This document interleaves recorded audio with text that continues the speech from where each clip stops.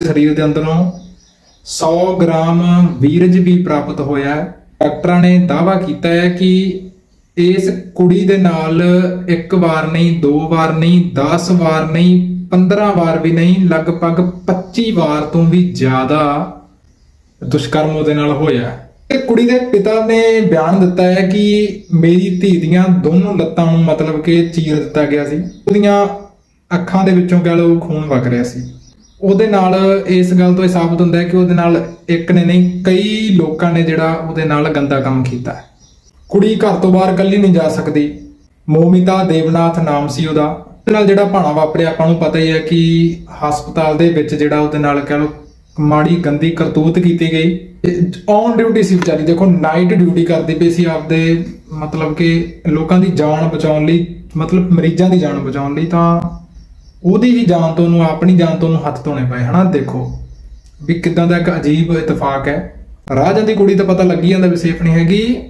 ਹਸਪਤਾਲ ਦੇਖੋ ਤੁਸੀਂ ਹਸਪੀਟਲ ਜਿੱਥੇ ਮਤਲਬ ਕਿ ਸੈਂਕੜੇ ਮਰੀਜ਼ ਹੁੰਦੇ ਆ, ਜਿੱਥੇ ਸੈਂਕੜੇ ਡਾਕਟਰ ਹੁੰਦੇ ਆ, ਤਾਂ ਉਹਨਾਂ ਨੇ ਜਿਹੜੇ ਮਤਲਬ ਪਾਪੀ ਦਰਿੰਦੇ ਸੀ, ਜਿਹੜੇ ਉਹਨਾਂ ਨੇ, ਉਹਨਾਂ ਦਾ ਵੀ ਡਰ ਨਹੀਂ ਮੰਨਿਆ।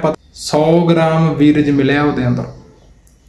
ਮਾਫ ਕਰਨਾ, ਜੇ ਕੁਝ ਗਲਤ ਲੱਗ ਰਿਹਾ ਹੋਵੇ ਤਾਂ ਪਰ ਜਿਹੜੀ ਗੱਲ ਹੈ, ਉਹ ਇਨਫੋਰਮੇਸ਼ਨ ਤਾਂ ਆਪਾਂ ਦੇਣੀ ਹੈ। ਆ ਪਿਓ, ਭੈਣ, ਭਰਾ ਨੂੰ ਪੁੱਛ ਕੇ ਦੇਖੋ, ਉਹਨਾਂ ਦੇ ਦਿਲ ਤੇ ਕੀ ਬੀਤਦੀ ਹੋਵੇਗੀ ਕਿ ਯਾਰ, ਇਨਸਾਫ ਦੀ ਕੋਈ ਉਮੀਦ ਨਹੀਂ।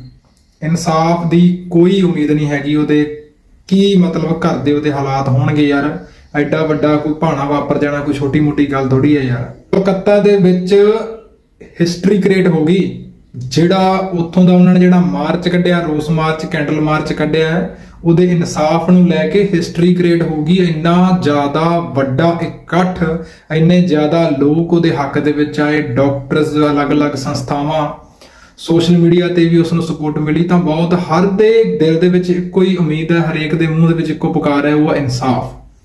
ਇਨਸਾਫ ਬੋਲਣ ਦੇ ਵਿੱਚ ਬੜਾ ਸੋਹਣਾ ਲੱਗਦਾ ਹੈ ਕਿ ਸਾਨੂੰ ਇਨਸਾਫ ਚਾਹੀਦਾ, ਪਰ ਇਹ ਲੈਣਾ ਬੜਾ ਔਖਾ ਹੈ, ਇਹ ਮਿਲਦਾ ਬਹੁਤ ਔਖਾ ਹੈ। ਸਿੱਧੂ ਮੂਸੇਵਾਲਾ ਦੇਖੋ ਕਹਿੰਦਾ ਕਹਾਉਂਦਾ ਕਲਾਕਾਰ ਦੁਨੀਆ ਦਾ ਲੈਜੈਂਡ ਬੰਦਾ ਉਸ ਨੂੰ ਅੱਜ ਤੱਕ ਇਨਸਾਫ ਨਹੀਂ ਮਿਲਿਆ।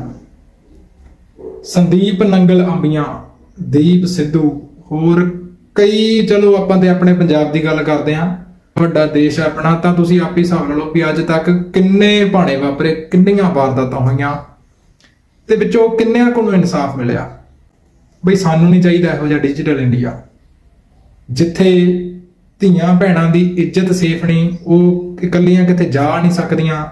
ਸਾਨੂੰ ਨਹੀਂ ਚਾਹੀਦਾ ਇਹੋ ਜਿਹਾ ਡਿਜੀਟਲ ਇੰਡੀਆ ਇੱਕ ਗਲੀ ਦੇ ਵਿੱਚ ਨਾ ਇੱਕ ਕੁੜੀ ਲੰਘੀ ਜਾਂਦੀ ਸੀ ਤੇ ਉਹ ਨਾ ਉੱਥੇ ਚਾਰ ਪੰਜ ਕੁੱਤੇ ਖੜੇ ਸੀ ਗਲੀ 'ਚ ਤੇ ਉਹ ਉਹਨਾਂ ਨੂੰ ਵੇਖ ਕੇ ਨਾ ਉੱਥੋਂ ਮਤਲਬ ਪਿੱਛੇ ਮੁੜਨ ਲੱਗੀ ਤੇ ਕੁੱਤੇ ਨੂੰ ਕਹਿੰਦੇ ਵੀ ਕੁੜੀ ਅੱਗੇ ਲੰਘ ਜਾ, ਅਸੀਂ ਕੁੱਤੇ ਆ, ਇਨਸਾਨ ਨਹੀਂ।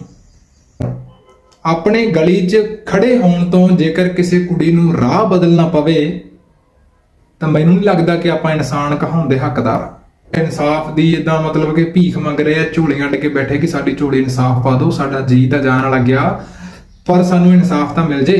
ਮੈਂ ਤਾਂ ਕਹਿੰਦਾ ਸਭ ਨੂੰ ਮਿਲੇ, ਪਰ ਜਿੱਦਾਂ ਜੇਕਰ ਆਪਾਂ ਇਹਦਾ ਮਤਲਬ ਕਿ ਥੋੜਾ ਪਿੱਛੇ ਝਾਤ ਮਾਰੀਏ, ਤਾਂ ਆਪਾਂ ਕਿੰਨਿਆਂ ਕੁ ਨੂੰ ਦੇਖਦੇ ਹਾਂ ਕਿ ਇਨਸਾਫ ਮਿਲਿਆ ਹੈ। ਤੇ ਸੀਬੀਆਈ ਨੂੰ ਟ੍ਰਾਂਸਫਰ ਕਰ ਦਿੱਤਾ ਗਿਆ ਜਿਹੜਾ ਮੈਟਰ ਹੈ, ਕਿਉਂਕਿ ਅਦਾਲਤ ਨੇ ਮਤਲਬ ਕਿ ਇਹ ਸ਼ੰਕਾ ਜਤਾਈ ਹੈ ਵੀ ਜੇਕਰ ਇਹ ਮਾਮਲਾ ਰਾਜ ਤੱਕ ਰਹਿੰਦਾ ਹੈ ਤਾਂ ਰਾਜ ਪੁਲਿਸ ਹੈ ਜਿਹੜੀ ਉਹ ਜਿਹੜੀ ਸਬੂਤਾਂ ਨੂੰ ਖਤਮ ਕਰ ਸਕਦੀ ਹੈ, ਉਹਦੇ ਵਿੱਚ ਸਬੂਤ ਖਤਮ ਹੋ ਸਕਦੇ ਨੇ। ਇਸ ਕਰਕੇ ਉਹਨਾਂ ਨੇ ਇਹ ਮਾਮਲਾ ਜਿਹੜਾ ਸੀਬੀਆਈ ਨੂੰ ਟ੍ਰਾਂਸਫਰ ਕਰ ਦਿੱਤਾ ਹੈ। ਬਾਕੀ ਤੁਸੀਂ ਕੀ ਕਹਿਣਾ ਚਾਹੁੰਦੇ ਹੋ ਇਸ ਮੈਟਰ ਬਾਰੇ?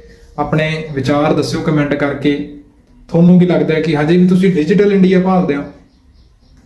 ਬਾਕੀ ਕਮੈਂਟਾਂ ਦੇ ਵਿੱਚ ਤੁਸੀਂ ਆਈ ਸਟੈਂਡ ਵਿਦ ਡਾਕਟਰਸ ਜਾਂ ਵੀ ਵਾਂਟ ਜਸਟਿਸ ਹੈਸ਼ਟੈਗ ਜ਼ਰੂਰ ਵਰਤਣਾ ਆਪਾਂ। ਤੇ ਵੀਡੀਓ ਨੂੰ ਅੱਗੇ ਸ਼ੇਅਰ ਕਰ ਦਿਓ ਦੱਬ ਕੇ। ਬਹੁਤ ਬਹੁਤ ਧੰਨਵਾਦ। ਬੋਲਣ ਲਈ ਹੁਣ ਕੋਈ ਸ਼ਬਦ ਨਹੀਂ ਹੈਗੇ।